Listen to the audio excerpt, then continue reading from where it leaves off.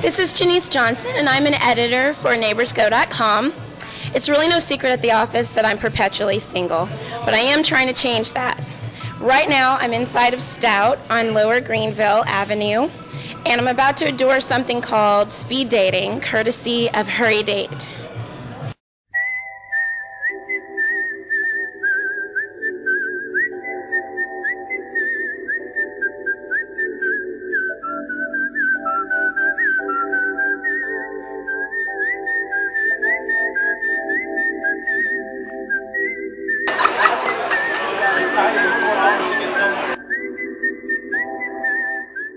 So I think I really like the Kevin guy, that's like the musician. Um, he was really cute, and we like some of the same things. So there was this guy named John, and he was really cute, and he's from Alaska originally, where I want to go one day. And uh, I don't know if he was feeling me or not. I was kind of feeling him. We'll see. We'll see. And I'm gonna go to the bar and grab me a Shirley Temple.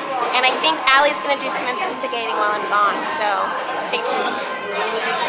Uh, you know, I was kind of digging Jenice at first until I noticed her dress, and the wrinkles just weren't doing it for me. You know, I'm like, you know what? Take it to the cleaners first before you come see me, okay? Then we can talk. All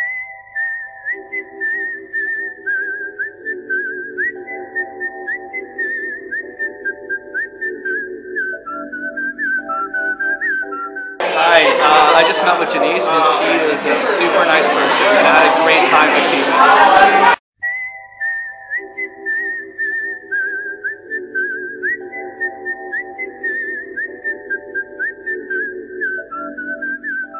Wait a while and see if the guys that I said yes to said yes to me, but really, who would say no to me anyway, so whatever.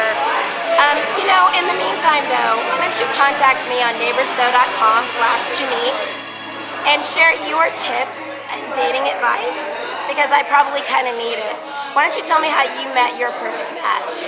Me, the eligible editor.